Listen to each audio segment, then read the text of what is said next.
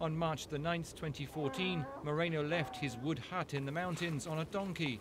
He was carrying two letters, one addressed to his daughter and one to God. While he was riding, his mule was stopped by Mexican Marines and soldiers. He was asked to turn, but instead he opened fire. The Marines fired back, killing him. After his death, authorities searched his hut, where they found a king size bed, flat screen televisions, and several books inside.